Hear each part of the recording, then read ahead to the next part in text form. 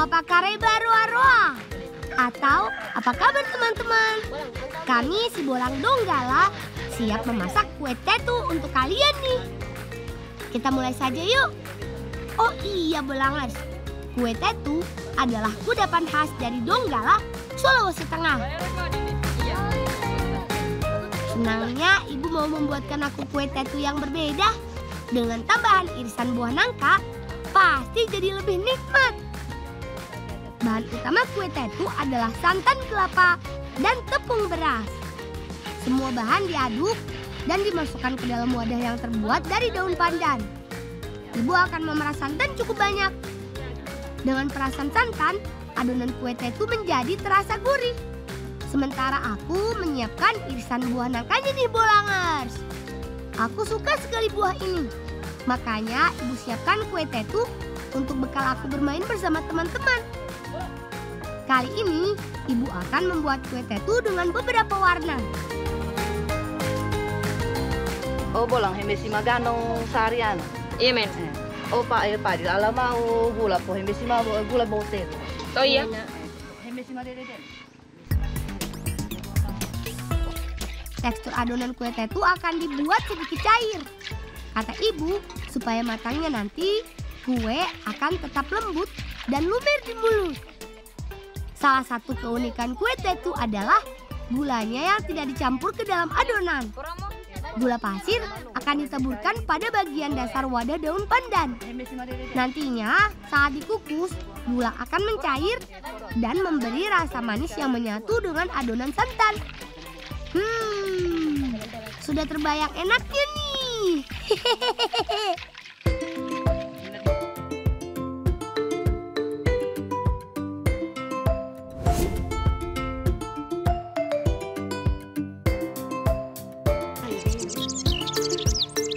Wadah kue tetu yang sudah terisi gula pasir harus kita kukus terlebih dahulu. Tujuannya supaya gula mencair. Ayo Fadil, kamu kukus segera ya. Tidak perlu lama teman. Daniel sudah memanaskan pancinya nih. Sepertinya semua adonan warna sudah tercampur rata. Saatnya kami tuangkan ke dalam wadahnya. Ay, ano poro mo po isi may bote tu. Eh, Iya. ano pwedeng oh isi mo. Cur! Satu persatu wadah pandannya terisi adonan kue tetu nih. Benar juga kata Kalbus, bentuknya seperti perahu nelayan. Terakhir, tambahkan irisan buah nangkanya. Hmm, jadi tambah harum. Cukup 15 menit saja, kue tetu akan siap kami santap. Tapi ngomong-ngomong kawan-kawanku mana ya? Kok mereka belum sampai?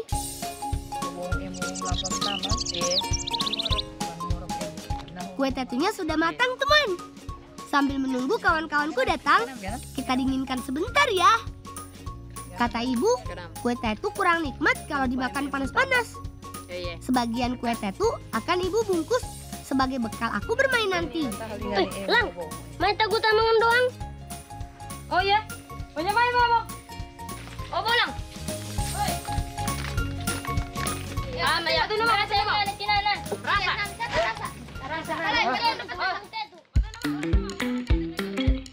Akhirnya kawan-kawanku datang nih.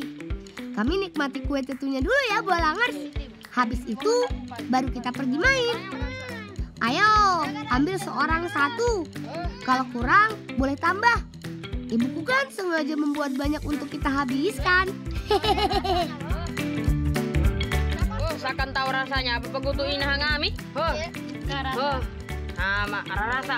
Sakan tahu rasanya? Sakan tahu rasanya. Eh, bulang, sakan tahu rasanya mana nih, warna-warni. Pas sakan dia nangkanya yata. Eh, Lembutnya kue tetu dengan tambahan buah nangka menjadi camilan kami yang sangat pas siang ini. Kata ibu, kalau makan yang manis akan menjadi sumber tenaga untuk kami saat bermain. Ayo habiskan kawan-kawan. Kita lanjut ngebolang setelah ini. Oh ina, amin dong lampan tambah aja hulu. Ah iya, jangan Dewi, eh jam pantanya jalan. Oh iya. Dan bagi ba eh langsung tol. Oh iya. Antol aja. Antol ya. Jam pantanya jalan. Amin lah. Sepertinya ide Kalbus untuk main perahu boleh juga nih. Kita main ke danau kalau begitu.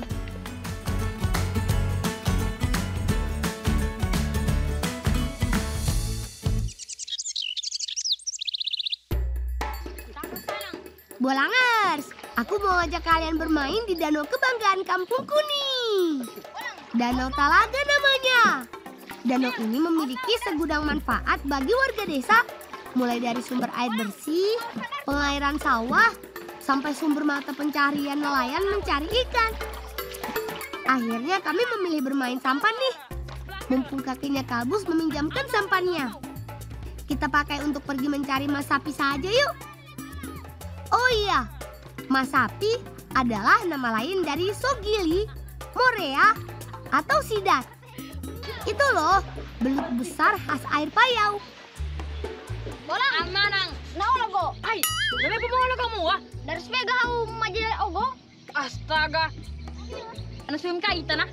Ay tolem jaita. Ay, tolem ja.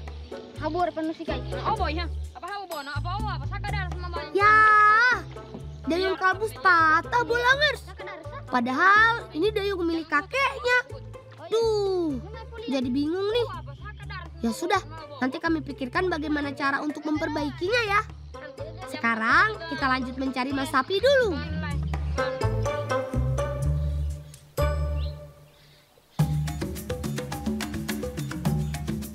Perlu berjalan sedikit masuk ke dalam hutan nih. Sungai yang kami datangi ini biasa menjadi tempat warga mencari mas sapi. Bolang. Mia. Paya itu milol masapi na bolang. Tua itu ah. Iya iya. Abang, abang. Langsung kita cari saja yuk. Kawan-kawan, menyebar ya. Cari di sekitaran lubang sisi sungai ini. Sungai di kampungku ini bermuara ke laut. Saat air laut pasang, sebagian airnya akan mengalir balik ke sungai ini sehingga air menjadi payau. Mas sapi senang bersarang di lubang sungai ini. Semoga kami bisa dapat ya.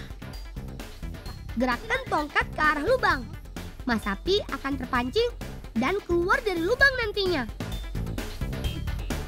Lihat teman, ada satu ekor yang keluar dari lubangnya.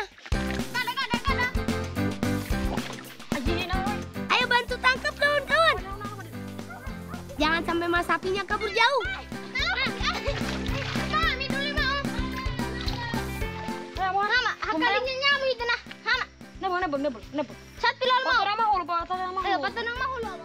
Aduh, airnya jadi keruh karena kami berlari mengejar mas sapi nih. Kami harus lebih tenang lagi. Nah, itu dia. Ayo kejar lagi. Mali.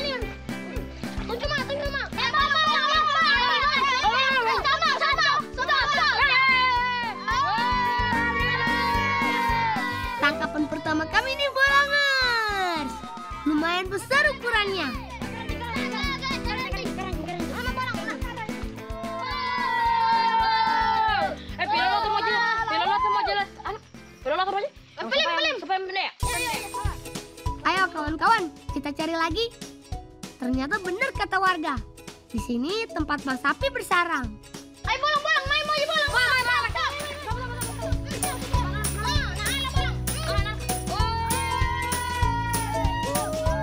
Mas sapi akan keluar dari lubang bila terpancing umpan atau persembunyiannya terganggu. Ya.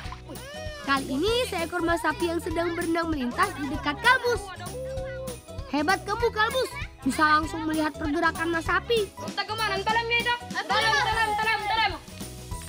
Sepertinya mas sapi yang kami tangkap sudah cukup nih teman. Yuk, kita langsung kembali untuk memperbaiki dayung kalbus.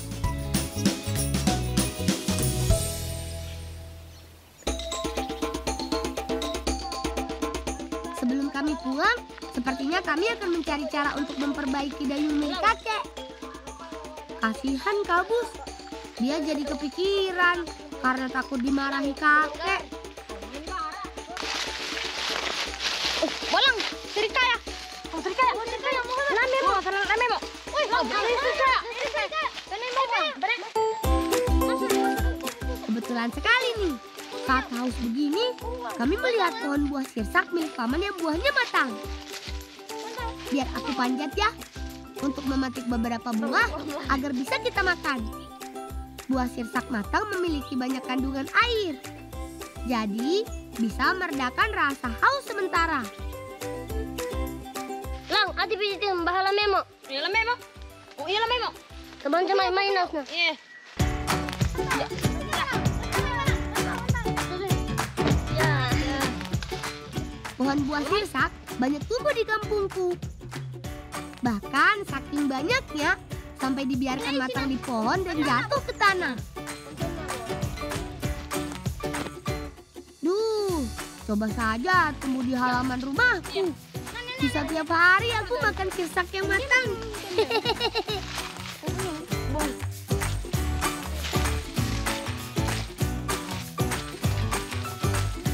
Bolang dia mau bolang dia mau. Ada. Ya, param. Ya, sedang aja. Beberapa buah sirsak rasanya cukup nih. Langsung kita nikmati saja bolangan. Tembotoy. Buah yang sangat pas dinikmati siang hari seperti ini. Ya. manis, asam, dan segar rasanya. Daging buah sirsak memiliki serat yang sangat baik untuk pencernaan kita. Selain itu, kandungan airnya banyak. Bisa meredakan rasa haus. Iya sih, tidak bisa menggantikan air minum, tapi setidaknya bisa menambah tenaga. Ayo, belangers di rumah. Siapa yang tidak ngiler nih melihat buah sesegar ini? Kepikiran nani. Bolang, hau mau kepikiran hanga kuliah. Eh, ngomong kamu hulu bom panu. Paparam hulu. Paparam hulu bom lampai kita. Paparam hulu. Aku jadi ikut kepikiran dayung patah nih. Ya sudah, kami lanjut mampir ke kebun paman dulu deh. Siapa tahu paman bisa memperbaikinya.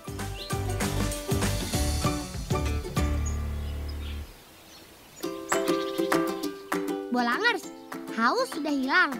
Saatnya lanjut bertualang. Kami akan temui paman untuk meminta kayu. Kasihan kabus, masih terpikirkan dayung kakek yang patah. Paman Zul biasa memotong kayu di ladang. Aku akan meminta sedikit kayu sisa yang bisa dijadikan dayung nantinya.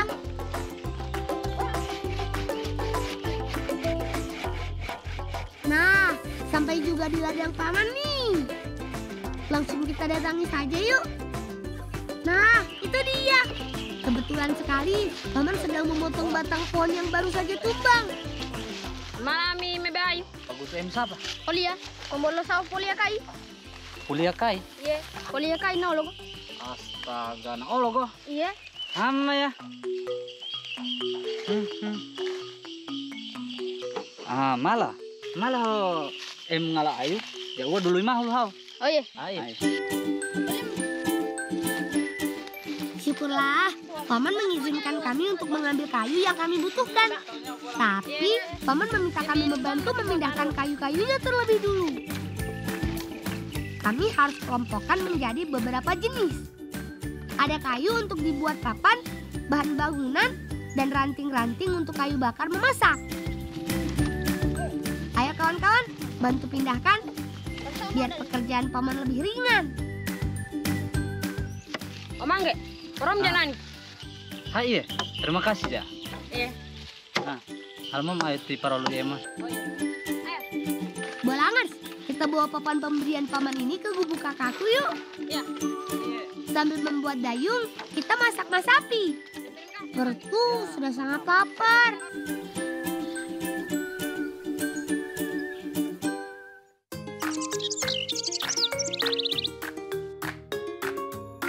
Teman, kita siapkan makan siang yuk. Mas sapi yang kami tangkap tadi akan kami masak kukus dalam jantung pisang. Tapi sambil aku memasak, Kalintang akan membantu membuatkan dayung untuk kabus. Oh, siau. Malam betul yang pegutu mau kuliah. Apa kuliah kalebus na olgo. Iya jam pukul tuh emu pagabumum masabi na na apa aminan moro pomo. Oh, iya. Ya sudah, Sekarang masalah dayung patah sudah bisa diatasi kakak ya, Bus. Kamu tidak boleh sedih lagi.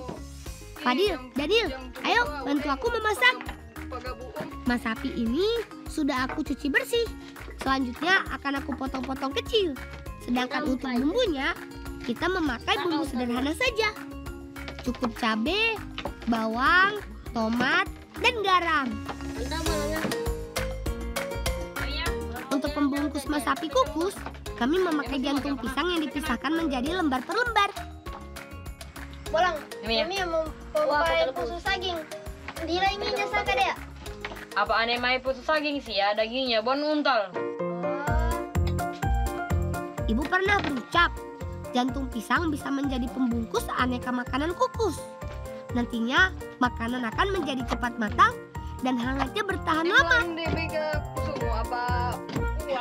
Saatnya membungkus nih. Masukkan potongan mas sapi, lalu tambahkan irisan bumbu, garam, dan sebagai aromanya, tambahkan juga daun kemangi. Jangan lupa diikat ya, supaya mas sapinya tidak kabur. Adil, Oi, paling mau pas sauta sapina. abang ja. Paling, paling, paling mo.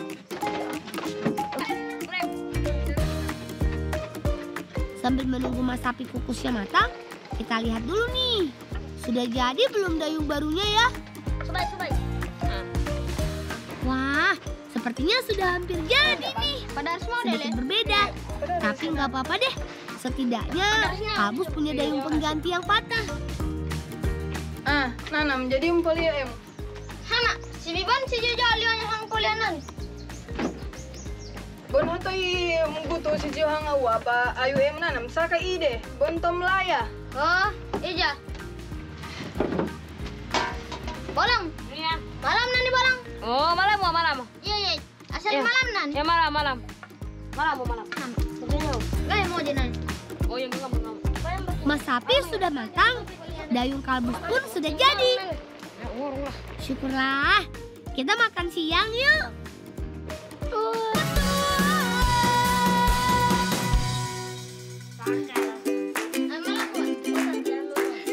Kami beruntung siang ini mampir ke gubuk kakak.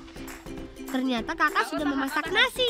Sangat cocok kan makan kukus mas sapi dengan nasi hangat. Hehehe. Ngomong-ngomong, mas sapi yang aku masak banyak juga nih. Sepertinya bisa nambah. Ayo kawan, langsung kita makan saja. Hmm. Hmm.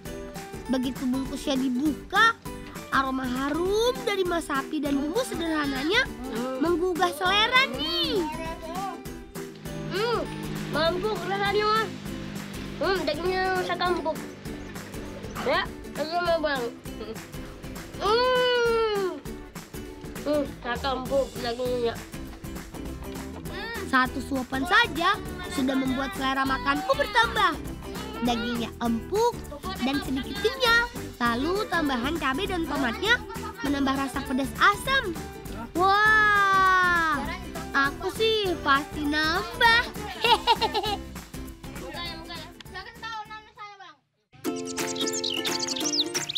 Dayung pengganti sudah jadi. Tapi Kalbus masih merasa takut kalau kakek akan marah. Sepertinya kalau kami buatkan sarung sebagai tanda permintaan maaf, kakek pasti mau menerima. Bolangers, ikut aku ke rumah nenek yuk. Nenek biasa membuat kain sarung tenun khas Donggala.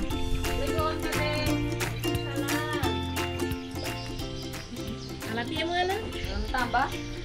Main nanti pwede pag ako siya nga. Terima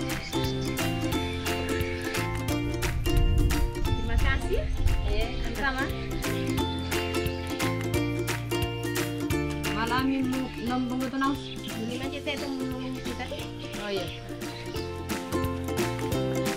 Sambil kami beristirahat sejenak, kita lihat nenek menenun yuk. Kalau aku sih mau membantu menggulung benang saja deh. Satu lembar tenun itu tersusun dari ribuan helai benang yang harus tertata sehingga membentuk motif yang rapi. Hampir setiap hari nenek membuat sarung tenun.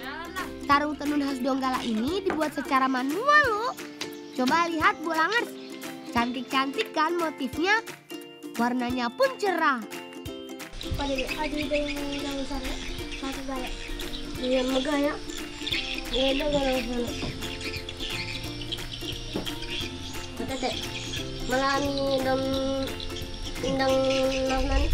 yang Nenek membutuhkan waktu sampai satu bulan untuk membuat satu buah sarung. Jadi wajar saja kalau harganya bisa mencapai jutaan rupiah. Wah, benar-benar barang yang berharga ya. Aku sih jelas bangga karena sebagai anak Donggala kami punya kerajinan khas yang bisa mendunia. paling gaya warna hitam Mas, megaya Duh, Kalbus masih memikirkan takut dimarahi kakek nih. Kamu tenang ya. Kan nenek mau memberi satu sarung untuk kita antar ke kakek. Pulang? Eh, Kalau mau kayu soal-soal, pala naus na. Muna sa polianya deh. iya pun Mia. Iya, punya mau bagi mana? Bedo hodong onya. Oh iya. Oh iya. Pasti olah mama. Syukurlah, nenek memberi kami satu sarung yang bagus untuk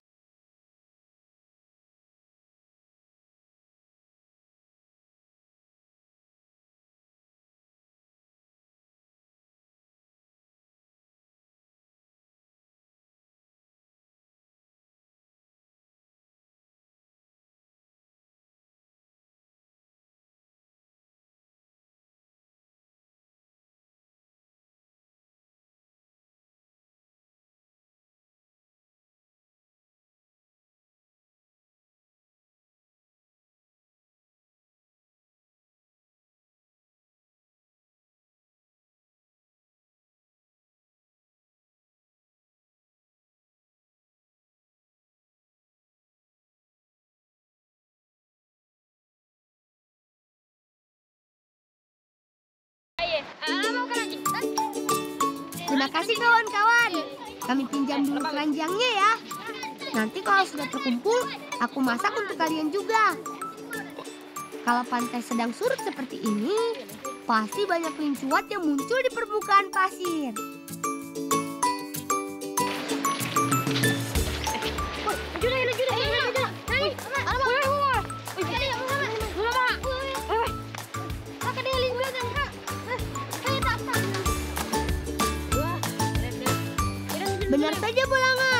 Baru saja kami berjalan beberapa langkah, sudah dapat beberapa ekor nih. Sepintas, lincuat mirip seperti kelomang. Lincuat juga bisa merayap di pasir. Bedanya, kelomang bergerak memakai kaki, sedangkan lincuat sama seperti bekicot. Berjalan menggunakan otot perut. Selain di permukaan pasir, kami juga dapat lincuat yang sembunyi di dekat karang. Sedikit samar sih, hampir mirip seperti batu. Wah, kami dapat banyak nih. Sepertinya alam sedang berpihak pada kami siang ini.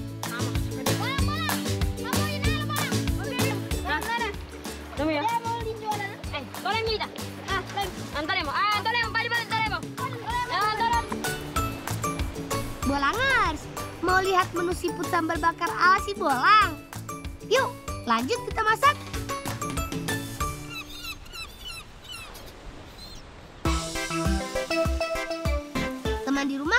Tahu sambal bakar? Itu loh, menu masakan yang belakangan ini ramai diperbincangkan. Rencananya, lincuat yang kami dapat ini mau aku masak ala sambal bakar yang sedang viral itu. Langsung kita siapkan bumbunya yuk. Pertama, pastinya kita harus membuat sambal terlebih dulu.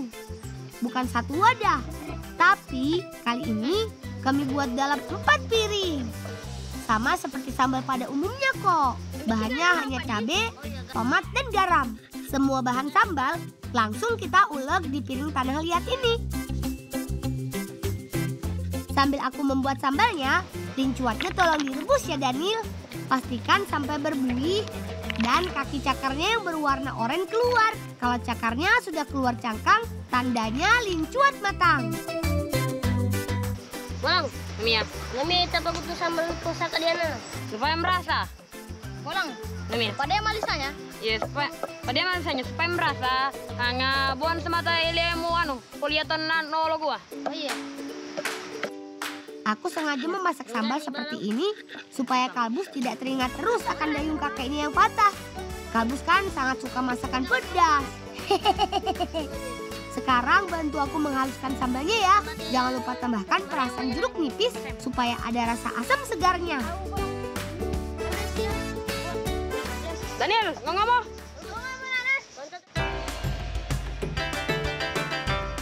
Lincuatnya sudah matang nih. Bantu tiriskan dulu ya Daniel. Sebentar lagi sambalnya jadi. Saatnya membakar sambalnya di atas api nih. Sambal kita bakar dengan sedikit tambahan minyak. Kalau sudah harum, tandanya lincuat bisa mulai kita masukkan. Aromanya gimana bolangan? Kalian juga mau coba?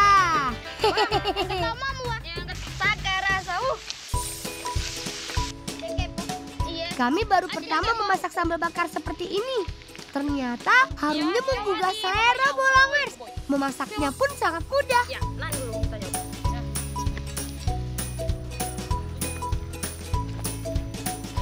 Bolang, Ini ya.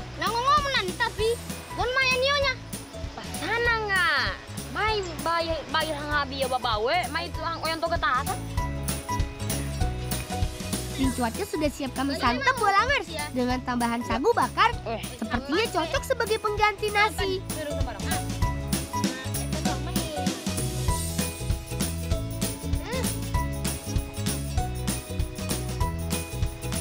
Hmm. Bolang, saya rasa bolang. Saka rasa di mai, saka dia rempahnya, malisanya.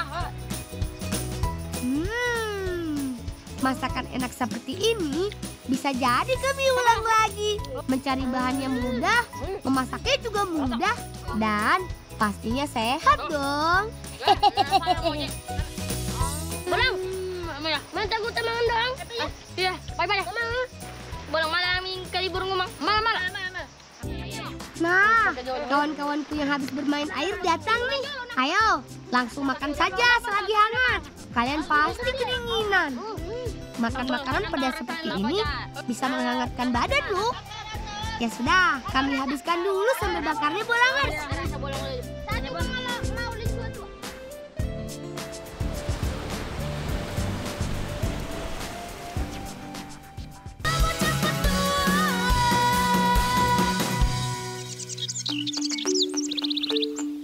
Bolang, Mi. di timur mana bolang? Kuliah kain nolok bolang. Pasana nga, jam dulu yuk om dari hangakai supaya pun pernasinya oh. Oh iya bolang. Oh iya bolang. Bolang mekai. Oh iya mereka Ini saatnya kamu jujur pada kakek. Kamu harus tenang. Kan kita sudah buatkan dayung penggantinya. Kurang tambah sayangnya. Perama. Tapi kai, mai masalah. Baru mia, baru mia wah. Kuliah tenang olok kai. Bonom yang. Baru mia nana. Bayi mau aja pembalasannya kai. Coba di main Dani. Penting kamu normal aja mengalah bau. Pembalasan. Duh, sepertinya kakek sedih karena dayungnya patah. Kami harus bisa menghibur kakek nih. Oh iya, kami masih punya satu benda lagi nih. Padil, padil. Alam mau naos yang terkuasan.